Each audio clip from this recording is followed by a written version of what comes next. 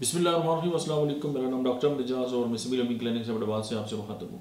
आज हम बात करेंगे ओटाइटिस मीडिया के बारे में, या ओटाइटिस एक्सटर्ना, ये दोनों पे काम करेंगे। यानी कान के अंदर जो अंदरूनी और बैरूनी कान है, उन दोनों की जो सोजिश है तो उसको हम एपरसल, पल्साटीला और स्लीशिया जो है, ये तीन अद्वियात को आपस में मिलाकर हम जब दिन में तीन से चार बार इस्तेमाल करेंगे तो जो कान की सोजिश है, चाहे वो मतलब है कि जो कान की अंदरूनी कान है, उसकी सोजिश है जो बैरूनी कान है, उसकी उसकी जो सोजिश है, इन दोनों पे जो है इफ़ेक्ट रखता है और स्पेशली छोटे बच्चे हैं जो अपने सिम्टम नहीं बता सकते तो आप उसके लिए भी इनको इस्तेमाल कर सकते हैं। इनके कोई साइड इफ़ेक्ट भी नहीं है और जो कान के इश्यूज़ हैं या कान की जो दर्द है या कान से पीप आ रही है तो ये जो जुमला इश्यूज़ हैं, उन सबको एड्रेस करेगी और मतलब है कि उसको क्लियर कर देगी।